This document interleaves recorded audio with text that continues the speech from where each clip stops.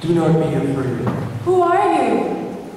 It is me, the Lord, the risen Christ. Go forth and tell the world that I am truly risen. Yes, Master, yes. He's alive! He's risen! He's alive! He's risen! Jesus is alive and he's risen!